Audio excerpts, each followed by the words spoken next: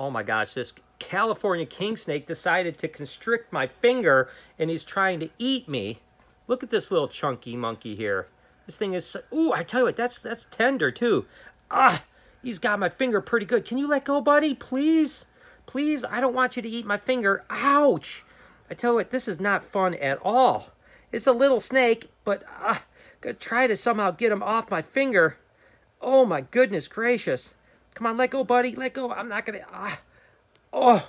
Oh, now he's trying to eat me again. Okay, I gotta get this guy back. He is definitely feisty.